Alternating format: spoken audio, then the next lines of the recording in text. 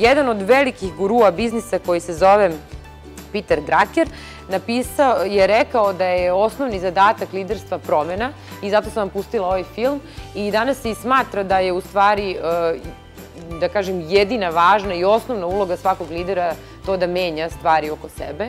Dakle, smatra se da je osnovna uloga liderstva promena. Ljude je nemoguće voditi lažnim autoritetom i na silu. To je jednostavno kontraproduktivno, na dug rok se nikad nije pokazalo kao uspešno. Dakle, ono što je važno jeste da, da ljudi ono što rade, rade tako što su motivisani, što žele da vas prate i što žele da, da, da dele sa vama vrednosti i cilj koji ste zamislili. Da biste bili lider, ne morate da budete generalni direktor, čak ni direktor nekog odeljenja u kompaniji. Lider može da bude i neko koji je u sredini, lider može da bude neko koji je u hjerarhijskoj organizaciji na dnu. Za liderstvo je dovoljno da okupljate ljude oko sebe, da sa njima delite svoje ideje i da ih motivišite da vas prate. Bez menadžera koji organizuju jednu kompaniju i trude se da procesi i procedure u toj kompaniji rade kako treba, kompanija ne bi mogla da postoji.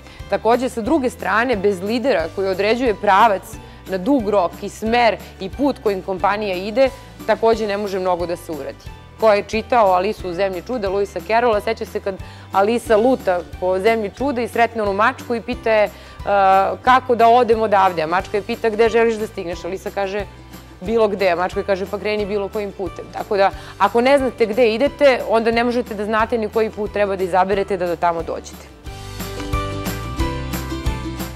Tajna za uspešan tim je da svaki član tima mora da bude bolji od vas u onome što radi.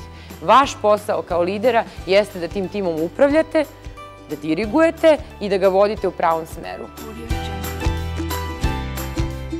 Ono što je bitno jeste da svojim ljudima date prostor, vreme, izazove koji će da im omoguće da uče i da rastu i da vas dostignu jednog dana. I najvažnije od svega, o tome ćemo u drugom delu dosta pričati, dopuštate ljudima da greše, i odnosno dobro i pozitivno gledati na greške. To je jako važno. Ako ste vi sposobni da u jednoj organizaciji definišete šta je ono što hoćete da radite, takođe i šta je ono što nećete da radite, ako definišete ko su vaši klijenti, ko su vaše ciljne grupe, ako uspete da shvatite šta su njihove potrebe, ako uspete da na najbolji mogući način odgovorite na njihove potrebe tako što ćete im ponuditi proizvod ili uslugu koji rešava njihove probleme, ako u svemu tome uspete sa njima da napravite najbolji mogući odnos koji će da generiše dugoročnu saradnju, onda ćete dobiti profit.